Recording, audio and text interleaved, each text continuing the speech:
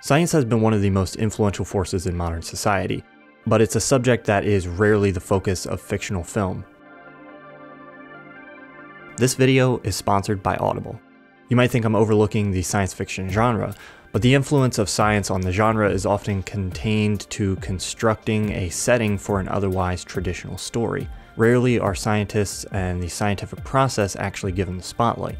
Often science fiction is examining the outcome of a specific technology, science applied, instead of the scientific process involved with discovering or producing that technology. To see an example of this, you have to look no further than modern science fiction Twilight Zone Black Mirror, which is hardly concerned with the actual science of what it presents, merely the social and individual ramifications of those technologies, sometimes to the level of caricature. In fact, much of how science and scientists are presented in film involves some level of caricature. We often see scientists as crazed madman, or science as voluntarily or involuntarily spawning some kind of monster or hero. Consider the common theme of superheroes or villains created in a lab by accident. Science is an out of control force directed by irresponsible scientists, and whether what it produces is a force for good or evil is a product of chance. Even when the scientist's creation of a hero is more measured and intentional, that scientist is presented as a self absorbed egomaniac. Scientists often merely exist to spout exposition when needed, or as the pawns of those who hold the real power. Even films that seem to give science a closer examination, paying a lot of lip service to its name. If You want to talk science, you gotta record the facts, analyze, get to the how and the why, then present your conclusions often end up casting it aside in favor of other answers to the story's central conflict. Love is the one thing we're capable of perceiving that transcends dimensions of time and space. Maybe we should trust that, even if we can't understand it yet. I'm not saying that all these films are bad because they portray science in this way, but why is this? Why is the scientific process so often overlooked in film? Science fiction author Aldous Huxley in his essay Literature and Science examines the divide between science and the literary arts. Talking about authors, he says, They have not been greatly interested in the science as a set of logically coherent hypotheses validated operationally by experiment and dispassionate observation, and in the field of applied science, their concern has been mainly with the social and psychological consequences of advancing technology, very little with its working or its underlying theories. Huxley's words could be describing the tech film that is fascinated with the interpersonal drama surrounding the creation of a technology more than with the creation of the tech itself. But you might say, logically coherent hypotheses and dispassionate observation are not the grounds for great stories. Stories are about passion, feeling, and emotion.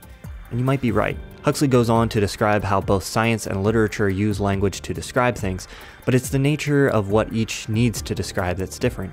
The language of science seeks for clarity and purity in terms of specificity.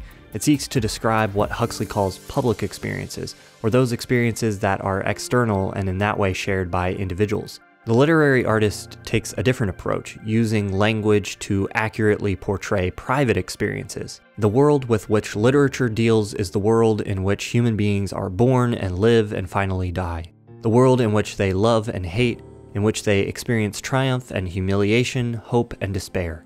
The differing goals create a challenge when presenting science in film. Reconciling the two is no easy task, but it's one that Huxley thought was possible. One step, something that Huxley suggests to authors in his essay, is to include more relevant science within the work itself. And you can see this happening more and more frequently. Multiverse theory has been explicitly useful for certain stories, for Interstellar, Christopher Nolan drew heavily on cutting edge science to produce accurate visualizations of a black hole.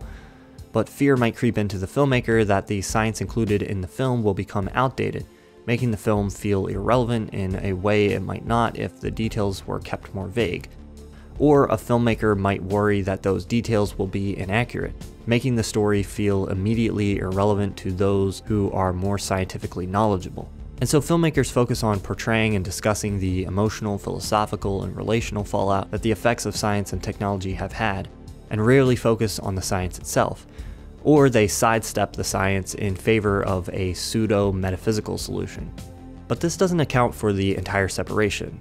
Huxley's essay was partially written in response to a lecture given by scientist and novelist C.P. Snow called The Two Cultures, in which he described a cultural divide between scientists and authors. At that time, there was little crossover between the fields of professional artist and scientist. And it makes sense, the level of dedication needed to be a good scientist and a good artist are high enough that taking on both is unrealistic for most. But I think the cultural separation that Snow observed is slowly closing, as Huxley hoped it would. Literature now has many good examples of that gap being bridged, and recently film has given us some stories where science itself has played a larger role. Let's examine a few of those. By coming at it from the back end, see, rather than changing the surrounding temperature, we'll just change the level that it'll conduct, the transition temperature. Primer imagines the creation of a time machine as if it were invented in a garage like the personal computer. Much attention is paid to the progression of decisions and ideas that lead to the discovery of the actual machine and the subsequent tests. This is how we get protein A out of aspergillus tinctorium. We sweeten it, we agitate it, we spin it around, we sweeten some more. It Takes about a month. To get the same amount I brought. It's a rare moment when the process of discovery itself takes center stage ahead of even character development. Primer's depiction of science can also help us see that the issue is not always that most movies don't accurately depict science, but that most movies don't attempt to depict the process at all. Regardless of how dubious the science in Primer might be, the attention it gives to the process of invention is unique. And the fact that writer and director Shane Carruth is an engineer turned filmmaker is no surprise. In the face of overwhelming odds, I'm left with only one option. I'm gonna have to science the sh out of this. The Martian might be the film that does the best job of bridging the divide between science and film. The movie itself is interested in the details. Now, I have hundreds of liters of unused hydrazine at the MDV. If I run the hydrazine over an iridium catalyst, it'll separate into N2 and H2. And then if I just direct the hydrogen into a small area and burn it. Much of the science shown in the film is accurate, and science becomes the hero of the story. Luckily, I'm a botanist.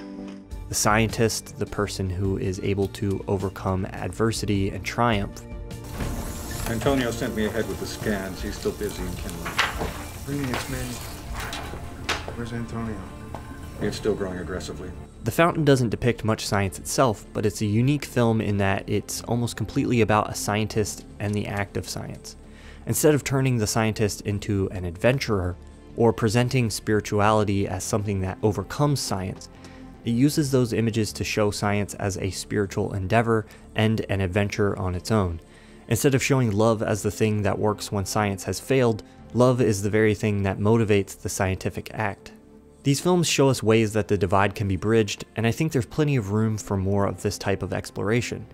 One response I've seen to this discussion is that the reason for the lack of depicted science may have to do with the mundane nature of the majority of scientific endeavors. But I don't buy the theory. Filmmakers are great at making otherwise boring things appear interesting. And I'm not insinuating that science is necessarily superior to things like human endurance or love. These very things are often what fuels the progression of science itself. I think the romanticism of art works as a check and balance against the threat of scientific hubris. You can see the less than positive images of the scientist shifting as society's fears about what it might produce change. As the ringing the bomb left in culture's ears is fading, our focus turns to new, more pressing concerns. The dialogue between film and science might be more important than we think. I've been focusing on science's influence on film, but it goes both ways. Science fiction films make it into scientific papers from time to time, and those films play a role in shaping the kind of scientific development and technology that society comes to want and expect. Research even suggests that cinematic depictions of space travel helped shape public opinion about its viability, helping make it possible to fund those endeavors. Science isn't going to become any less influential in the future, and so finding more accurate and nuanced ways to tell stories about it couldn't hurt. Even attempting to tell those stories at all, as has so rarely been done, is a noble endeavor. This video was largely inspired by Huxley's essay, and I've been a little obsessed with his writing lately. His book Brave New World is an essential read, and I'm happy to say that you can get it for free as an audiobook when you use my link audible.com slash thomasflight, or text thomasflight to 500 500 and sign up for a 30-day free trial. I love Audible and I'm happy to have them sponsoring this video. I always hear people talking about how great audiobooks are for commutes and workouts, and they are, but they complement so many activities. Make your summer better by pairing some great audiobooks with a hike, some time on the beach, or a road trip. When you sign up for Audible, you get a book a month. For your first month, I'm recommending Brave New World. Huxley sets the story in a dystopian future, but instead of highlighting the danger of a government imposed dystopia like Orwell shows us in 1984, Huxley shows us a dystopia created by technology that the inhabitants unwittingly welcome upon themselves. It's a story that I think is absolutely relevant to today. Whatever book you choose is yours to keep, and that's something I love about Audible. The books you get are yours forever. Sometimes I've gone back and re-listened to books that I enjoyed two or three times, and if you're ever unhappy with a book, you can swap it out for another one. You really have no excuse not to give Audible a try. So use my link www.audible.com slash thomasflight or text thomasflight to 500 500 to get a free audiobook and 30-day trial. I'm listening to audiobooks all the time, so if you have any recommendations, let me know in the comments. Thank you everyone for watching this video. I really appreciate your views and your support. And as always, thank you so much to my Patreon supporters. Go to patreon.com slash thomasflight to find out more about how you can help me continue making videos for a long time to come.